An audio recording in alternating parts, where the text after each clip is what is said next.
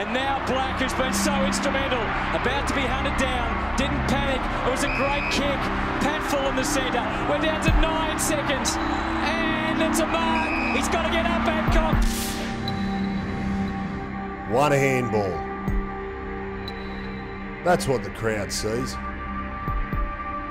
But what they don't see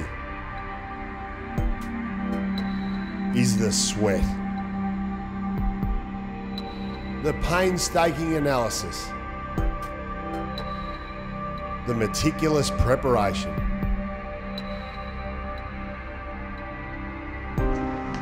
Repeating it over and over again until instinct just takes over. Had to give to anybody.